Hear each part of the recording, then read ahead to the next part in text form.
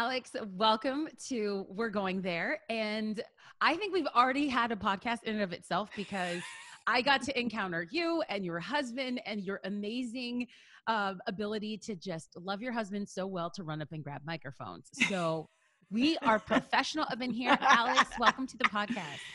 Honestly, thank you for having me. Uh, it's a joy. I've been looking forward to this, I'll be honest, because I love you so much. So, well, I'm, excited. excited. I'm excited. Um, as I mentioned to the listeners before, I feel like every time I am around you, you awaken something new inside of me. And that is what I'm believing is going to happen in the podcast. For people who don't know you, they will love you by the end of this show. And um, little caveat i remember going to the belonging co. in nashville tennessee for the first time. This was years ago. And i remember during worship saying i i wish that there was a church near me like this. And little did i know that it was an itty-bitty little seed that god kind of planted in my heart because fast forward years later our churches are very different. I can't even pretend to be like y'all but um but fast forward no, years but later, it's the spirit in the, the spirit. church it's the spirit in the church and i look at you and henry and like how you guys are leading and let me just say it is inspiration so thank you for your time today. You're welcome. Okay alex um i think that there is no one else who i have heard who speaks about the presence of God, the tangible presence of God uh, in our lives in a way that you do. And so I talk to, um, and I'm sure you do too. I'm sure we're talking to people in our churches, people in coffee shops, people in airplanes and conferences who are living, I think the phrase that just comes to mind is half baked lives. And can you talk to us? I want to know, like, what's that thing that makes you come alive and how do you share that with other people? Yeah, it's funny. I, I I have a friend that always says to me that I'm the eternal energizer bunny. She goes yes. like, "How do you, you know, in spiritual things?" She goes, "You're or, I've never seen you have a flat day when it comes to God and his purpose and everything about, you know, the church and your ministry life." And I said, "Honestly, it's one word. It's only one word and it's a person, and that person is Holy Spirit." And it's the holy spirit that energizes and gives me a effervescent experience in my faith walk that i would not be who i am today without the power and the person of holy spirit. And i i love what you said because that's been my pet peeve if you like is that christians who deny the power thereof that is available to them because of the cross. We love salvation but there's a lot of Christians that are saved but don't walk in the freedom and the power that has been afforded us by Jesus Christ. And if Jesus said, It's better that I go away so that the Holy Spirit can be with you, to be your comforter, your guide, your teacher. It's like he basically gave us himself in spirit form, yet the church has just taken the salvation part but not allowed us to walk in the power. And if he said to his disciples, Don't you dare go anywhere, don't you start your ministry until you've been clothed with power from on high, then what are we doing without the Holy Spirit? We're just speaking good motivational sermons, we're just speaking good positive messages, but we don't have the power that actually transforms lives. And that's the thing that awakens, makes me alive, and keeps me on fire. So, what does this look like in the everyday? So, we can talk about this big theological concept. Take me through, like, what does that look like for Alex? And then we'll talk about, like, let's yeah. let's break it down after that. Yeah, I mean, my life since I was filled, like, I got saved at the age of eleven, and I had been in church my whole life, you know, grew up in a Christian home, but it wasn't until I got saved that I actually, even though I was young, I had this encounter of the revelation of what sin separates us. I mm. felt the chasm literally shrink the minute that I gave my life to Jesus. I felt this weight come off me, and there was a joy unspeakable that filled my heart that I couldn't stop smiling for days. The week later, I went to a little i went to this little italian pentecostal independent church. You know, there's about 200 people in it. They preached their messages in italian and it was not cool it was not fancy. But this particular sunday he was talking about the holy spirit and before the service had even finished i found myself running up to the altar and just raising my hands going I want whatever he's offering. Mm. And the pastor didn't even know what to do with me because I'm this 11 year old kid. I just got saved the week prior in another church, mind you. But I was so hungry because I knew there was more. And he was talking about this Holy Spirit that from that moment on, when I got filled with the Holy Spirit, and for those of you who maybe aren't familiar with being filled with the Holy Spirit, because that salvation you receive, Father, Son, Holy Spirit. But when I got baptized in the Holy Spirit, I began to speak in an unknown tongue that I couldn't make up at the age of 11. But it was like fire got lit in my spirit. And I became this I don't even know how to explain it, but it was like everything just became color, everything became alive. And I just became this Holy Spirit crazy person at school.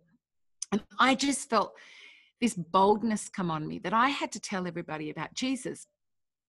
And my life hasn't really changed. So, from the age of 11, on a daily basis, I've got to know the person of Holy Spirit. This fire that wasn't just a, a freaky force, it was something that literally overwhelmed me. And it was this power that came out inside of me. I became this person that, oh my gosh, everybody needs this. Everybody needs to experience this. And so for my everyday, from the age of 11 to now, is I engage with the person Holy Spirit like I would Father and Jesus. And what I mean by that is I talk to him like a person, but I worship with him. I talk to him. I pray with him. My speaking in a prayer language is the thing that ignites my faith. And so the way I approach each day is Holy Spirit, fill me. Holy Spirit, make your presence known to me.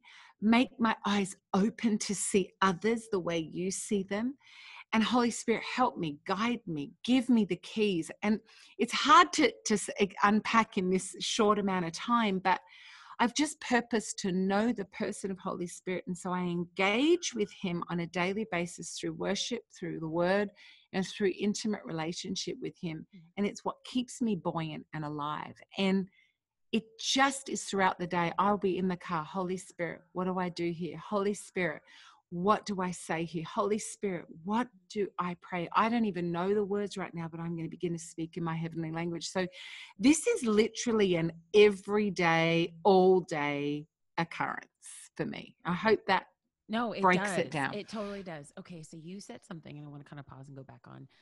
You said something about um, you had said yes to Jesus when you were 11 years old, and the next weekend you can't explain it. It's not a force. It's this this like presence, and and the the phrase that I want to latch on to is you said, I want more.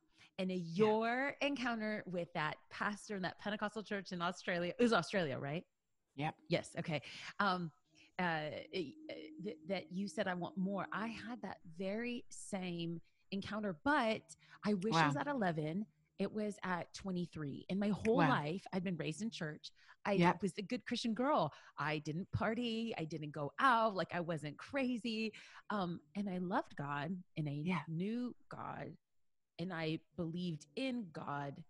But the believing God for that power from on high that he promised to us was something different. Yeah. And I saw a 65 year old woman with white hair and Caucasian woman talking about the power of the Holy Spirit in such a way that yeah. was so natural. I was like, whatever yeah. she has, I want that.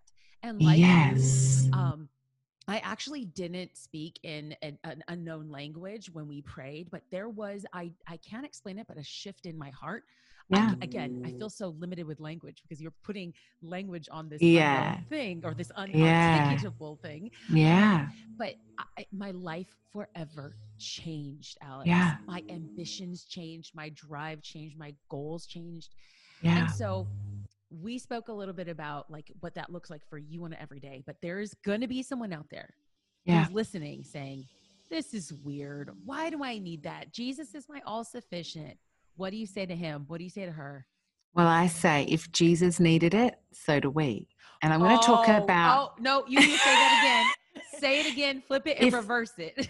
if Jesus needed it, we need it. And I want to tell you the difference of why Jesus moved in power because I think we just look at Jesus, Holy One, Anointed One, bringer of the Beatitudes, you know, healing and going about doing miracles. But I want you to backtrack and see that Jesus actually received the power of Holy Spirit at his baptism. Up until then, he's not really engaging in the power of his ministry, right? So he's Mhm. growing in wisdom in stature and favor with God and man. And it says that at 30, he comes to get baptized. And it's at that point that his identity is sealed by the Father. Heaven opens because of his obedience, and heaven opens, and it says, The Holy Spirit came in the form of a dove and descended upon him and remained on him. It was that point, then, it said the Spirit led Jesus into the wilderness, and mm. that is when he overcame the enemy with the power of the Holy Spirit on him. It talks many times about the Holy Spirit coming on and remaining on. He did it in the Old Testament, but this was the difference. Jesus was entering his priestly ministry, and it was that baptism that actually uh, was the transition for him to go into his ministry that outworked for others. And so the Holy Spirit comes on him, right? And from then on, he's only doing the work of the Spirit and the Father. So the Holy Spirit is on him to do the work through him. So he goes into the wilderness. He gets uh, tempted by the enemy. He overcomes the enemy by the third denial of not engaging in that. He then walks out full of power, full of authority with the Spirit of God. That's then when he operates signs, wonders, and miracles and is able to overcome the enemy at the cross. And that's why he says, says to his disciples, Don't you dare go anywhere until that same Holy Spirit that descended upon me in the form of a dove, now it's going to descend on you like fire. John the Baptist baptized you with water, but I'm the one that now baptizes with fire. And this is the fire that changed the world. It wasn't the good news of the gospel. It, ju- it wasn't just the good news. I shouldn't say that. It wasn't just the good news of the gospel. It wasn't just good works. It was the power that operated through his disciples. They saw the dead raised, they saw healings, they saw deliverances, they preached the gospel with power, they operated in signs and wonders to the point that they they went to martyrdom because of this. And I don't think as Christians that it's enough to have just the word because there are a lot of eloquent people out there. There are a lot of motivational Christians out there.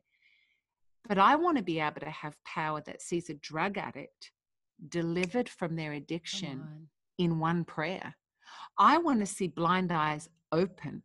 I want to see healings. I want to see the dead raised.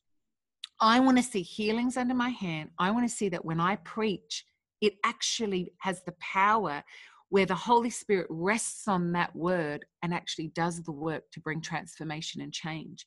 Because as far as I'm concerned, I'm looking at the big church right now, and I'm seeing a lot of people that are, are saved, but that don't walk in full freedom. Come and. I actually believe that comes with the power of the Holy Spirit.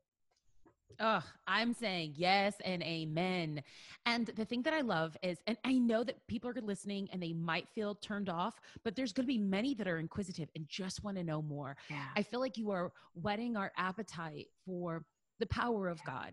And I want to Yeah. be careful because some of the sometimes people hear like uh, power and power of God and feel that there is a little bit of like self empowerment behind that. yeah, But no. It is the opposite. And I think that you live this out so beautifully.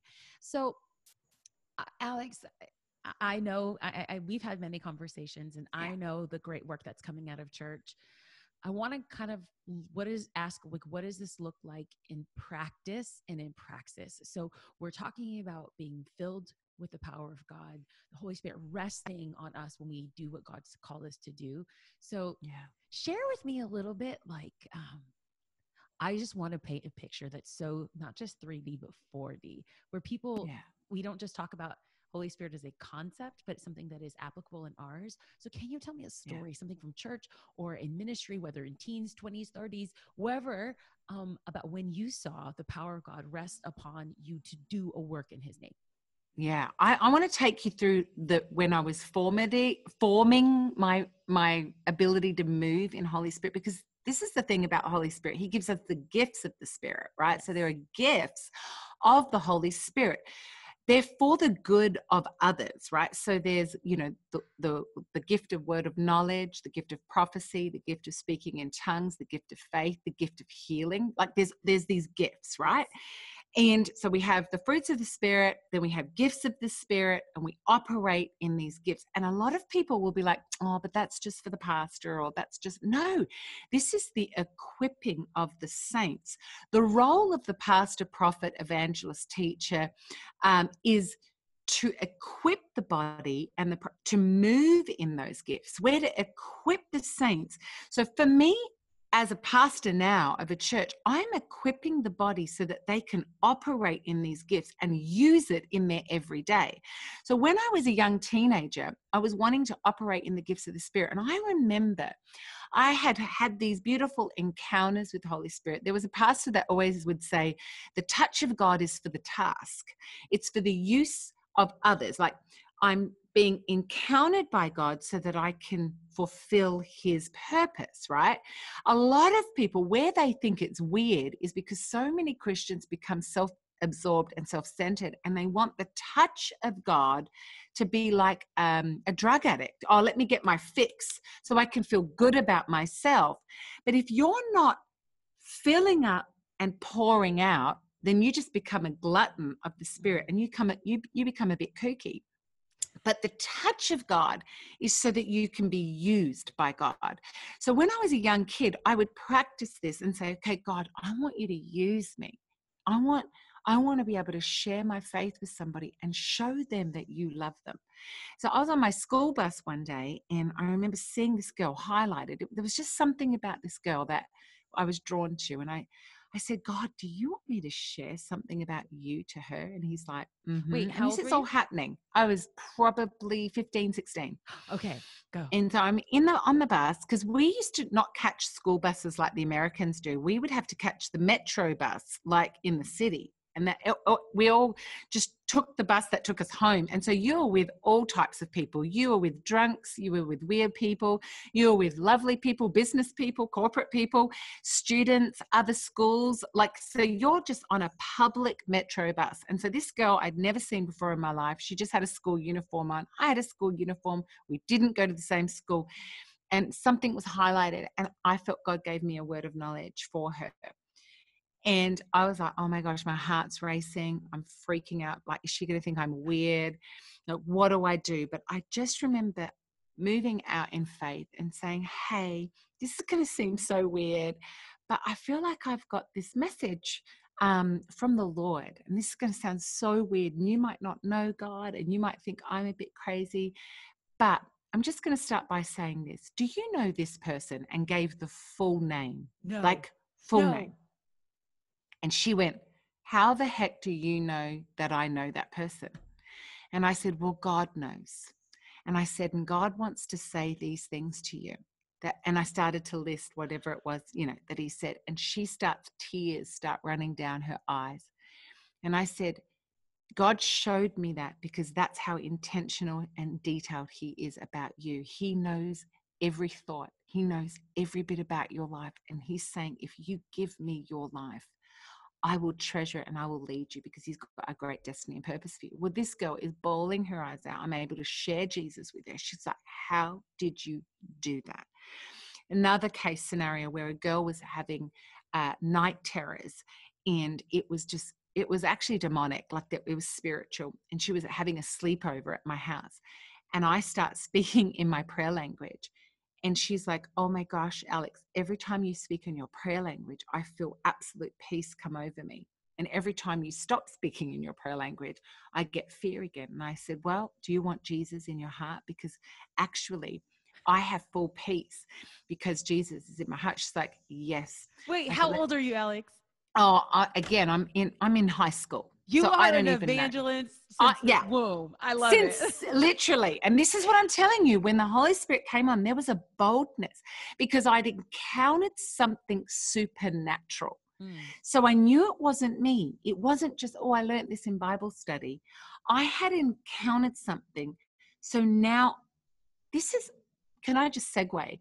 Please. This is what it means to be witnesses. See, Acts 1 8, Acts 1 8 says, and the Holy Spirit will come upon you, and you will be my witnesses in Jerusalem, Judea, Samaria, and all the ends of the earth. In order to be a witness, you have to have seen it with your own eyes. You've had to experience, you were there. You can't go to a court of law and bring hearsay just because you learnt it in a book or you heard it from your pastor. The only witness that's allowed on the stand is the person that was there present at the Ooh, crime. Yes. Right? So Jesus is saying, I need you to be witnesses to me, not hearsay talkers. So I had witnessed something with my own eyes, with my own life, and therefore now I'm able to bring it. And therefore I have authority in it because I've experienced it myself. So when I prayed for this girl, again, this happened. Again, another scenario where I've been at church and somebody has prayed for me. Now, I didn't make this up, but the power of God hit me where I fell. And maybe you've heard about this being slain in the spirit. I heard about I heard about this, but until I encountered it, I didn't believe it was real. And what happened when we when me when I was prayed over, the only way I can explain it is if you've ever been had an electric shock, you feel electricity go through your whole body and it's a power greater than yourself so you can't withstand it. And it's the same with god. When you touch the source of where the power is it we are built as finite beings but his power is so much greater. So he's saying let me touch you so that you can experience my power so that when you come up out of that you've encountered something that's supernatural. Now go and take it to somebody. And so mm. when I would pray for people, they would fall under the power of God. And so this has been, I mean, I can tell you story after story after story of words of knowledge, of the prophetic, of healing to strangers that don't even know God and they've been healed. When God said, Go pray for that person, go tell them about my love. So, this is why it's so mm. exciting. If you're a Christian or if you're just a new Christian and you think Christianity is all about rules and regulations, then you don't know our God because our Christianity is actually an adventure of the supernatural realm. I'm talking a lot. So no, I, I, Alex, that's why I brought you on. That's why I brought you on. I just feel like um, I want my online friends to meet my real life friends and learn from them. And I think that you are a well. So please don't edit yourself. Please don't stop talking. I, I, I promise you, this is great. So okay, so I'm gonna back this up. Yeah. When you were on the bus and you were 11 years old, the first time yeah. was 11 years old, right? No, not when I did that. That because I w- wasn't allowed to catch the bus when I was 11. This when oh, I was in high school. You 11 high was school. when I got filled with the Holy Spirit. Oh, that's right. High Forgive school. me. Yeah. But you're on the bus, yeah. you were in Australia, yeah. and you feel and sense yeah. that you have to go speak to that individual person. I mean, let's go basics, Alex. Yeah. What did no? I'm I'm I'm gonna also uh, shed. I'm gonna talk about like how we could prophetically hear God. Um, yeah. But for you, what did that look like? Yeah, it was literally an impression. Like, so it's a thought. And this is where I think a lot of people overcomplicate God because he speaks in our thoughts. I mean, it's not mm. audible. I have never, in all my years of being a Christian, I've never heard the audible voice of God. I've sensed the voice of God. I've heard the voice of God in my heart. And when you are aligned with God in relationship with Him, His thoughts become your thoughts because you're submitted and surrendered yeah. to Him. So that's why you can hear Him. And I'm in the Word of God. So I can hear and learn to discern what His voice sounds like because I'm reading His voice in the word. And so those two are lining up. So then when I get this impression, what is it about that girl? But also backtrack, I'm asking God, um, show me, lead me. I'm prepared. I'm not just sitting there thinking about, you know, eating chocolate. I'm actually at home going, God, I want an opportunity to exercise my faith. I want to move in your spirit. So I'm hungering after that. So my thoughts are aligned with that. So when I see that girl, it's almost like she just gets highlighted to me. Like, why am I noticing her? Okay. And then I'm like, Lord, is, do you want to speak to her? And so then I think, I feel my heart race. So I'm going, oh my gosh, I think this is it. I think this is it. So, Lord, what do you want to say? She knows this person. Now, I'm not thinking about that person. So I'm going, who is that person? So the name must that you be God. that you got, yeah. the name that you got, you didn't know who, who that person was. Yeah. So I'm going, okay. uh, uh, uh, you know, what is that name? So that's where I'm going. It got, has to be God. I'm not just pulling out this thing because right. I'm going, I'm thinking your thoughts. So then I'm going, well, I'm going to start with that because then if it's wrong, I know I'm completely off and I'm just going to go, hey, where'd you get your shoes? You know, like I'm just going to talk. So I'm always going to have a, ba- I'm not going to go up and be like, thus saith the Lord. I'm going to be like, hey, this may seem really random. And I'm going to start the conversation.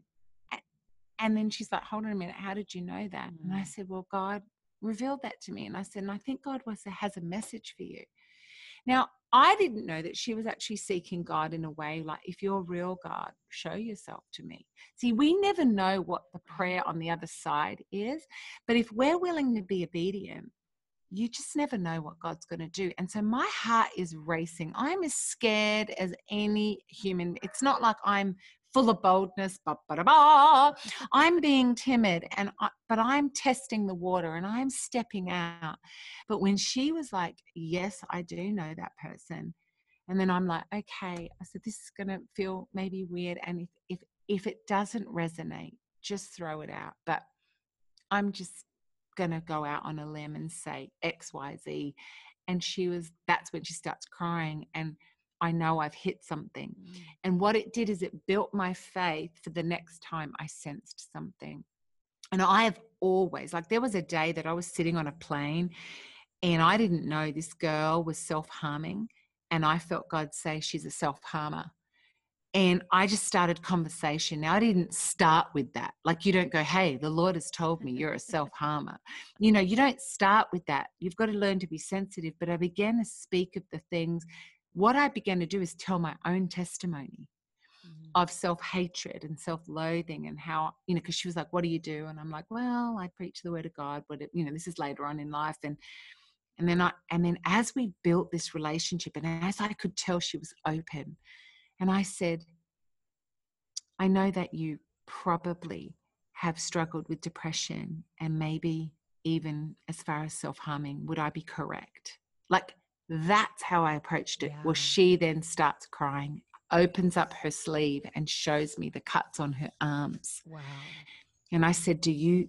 I said, I know somebody who can heal you for the trauma. I said, The self harm's just the symptom, but the trauma, there was a wound that happened to you. Do you know that I know Jesus and he can heal that wound? Well, we, I led her to Jesus.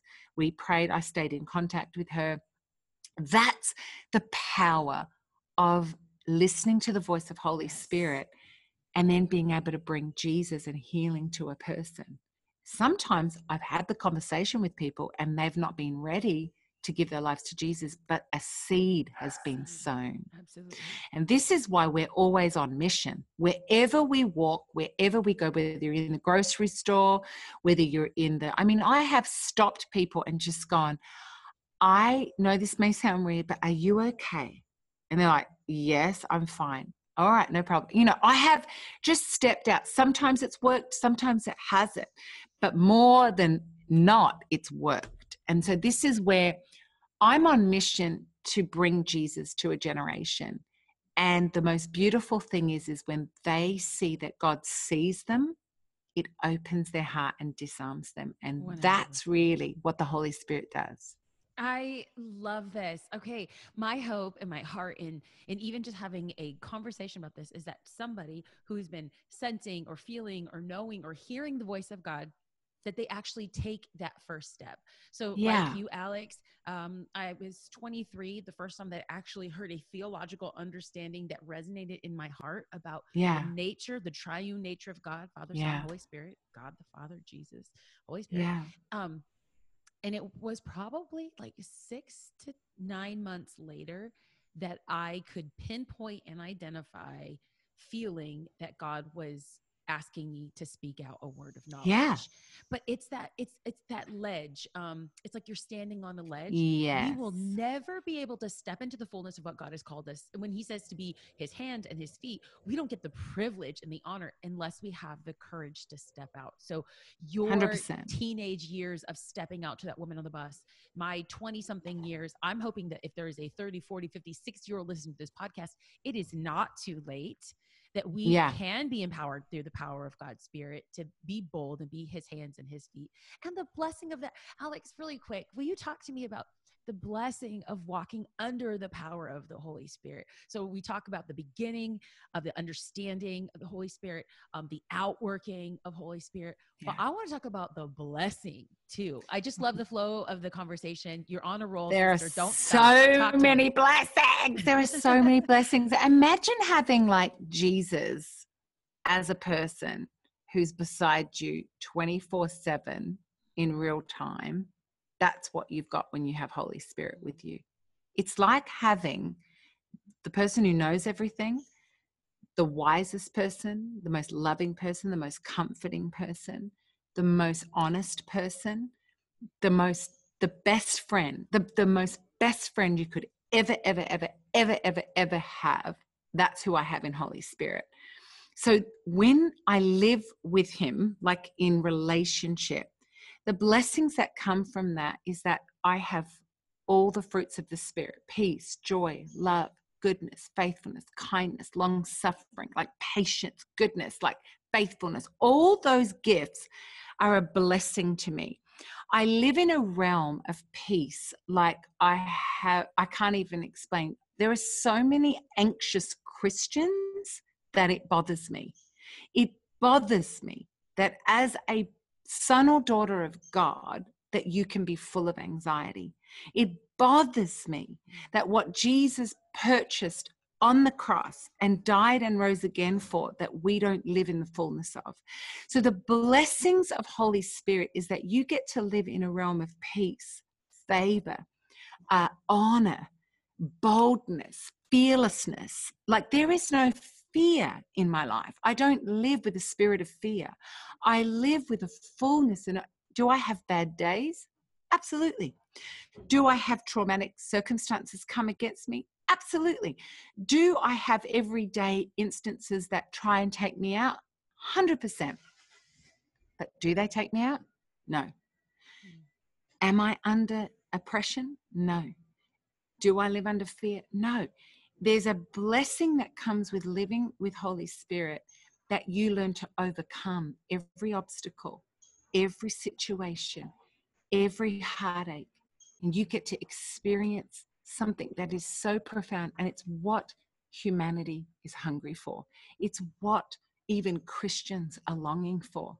That half bakedness is because I believe they've not been awakened to the person of Holy Spirit. I think the half bakedness is because they're living a set of rules and regulations because they know it's good morality. Like, I need good morals in my life. I need, you know, a, a framework for my life, but I'm not living out of the overflow of a relationship that enables me to live free and the blessing, honestly, the ultimate blessing of Holy Spirit is my true freedom. I don't say this lightly, Bianca, but and I know that you can attest to this in me, but I live truly free. Mm-hmm. I see so many insecure people that preach the gospel. I see people who have got empires under them but are still riddled with insecurity. And honestly, that's not true blessing. True blessings to me is when I can sit in a room and if nobody likes me, I'm still good with myself. I, I don't care if you you don't like me. I don't care because if God is for me, who can be against me? These aren't just coined phrases. I do live in a place of absolute freedom that I don't live bound by the, the opinion of man. I don't live bound by having to strive to get somewhere to feel good about myself. And if anything, if I never did another thing for the rest of my life, living in this realm of peace and freedom is all the blessing that I need in my life. And so I think it's available to all of us, but you've got to get to know the person of Holy Spirit, not just the religious understanding of Holy Spirit. Alex, I want to thank you for always, always calling us to rise. And um, for people who are listening and are hungry and they want that more that you encountered at the age of 11, that I encountered at the age of 23, will you do me a favor? Will you pray over us, myself yeah. included? Because I want a fresh overflow yeah. of the presence of God, Holy Spirit yeah. to be made manifest in my life. Will you pray for us as we kind of close out yeah, the podcast? Absolutely. Oh, Father, we thank you. We thank you that you gave us your Holy Spirit. You and Holy Spirit are one. So when we know you, we know Him. But God, I pray that there are people right now listening, that there has been like a taste, like a hunger that has just developed right now, an appetite for more of you. God, you are so simple that you said, if parents, like fathers in the natural on earth, even though they are evil, even though they're full of sin, even they will give good gifts to their kids. Like if we ask for bread, you won't give us a stone. They won't give uh, their kids a stone. If you ask for fish, they won't give you, a, a, you know, they won't give you a scorpion. God, it says in your word in Luke 11 that I am your father. And if I, if you ask for Holy Spirit, how much more will I give you Holy Spirit if you ask? That's all we need to do. Just the posture of being in the, in the posture of asking. And so, God, I pray right now that every person that wants more, that wants to encounter you more, all they have to do is ask. Father, would you reveal your Holy Spirit to me in a fresh way? Father, will you empower me with your Holy Spirit in a new, fresh baptism of fire? Would you give me the Holy Spirit that you promise in your word time and time and, time again? Father, I pray that everybody that is hungry and thirsty, that you would fill them to overflowing. God, you promise that if we ask, we'll receive. If we seek, we'll find. And if we knock, the door will be open to us. So, God, I pray that the Holy Spirit today would be made so present that all we have to do is say, Holy Spirit, would you reveal yourself to me? And I promise you that you will encounter the Holy Spirit because He wants to reveal Himself more to you than you even want it. So, God, I pray today that you would empower your listeners, that you would empower these believers right now that are listening in, and that you would come in a fresh, fresh outpouring over their lives so that they not, not only will be fresh, but they would be able to be used by you for others. So, God, would you come? And would you pour out your spirit on all flesh, just like you promised in Joel 2:28 and in Acts?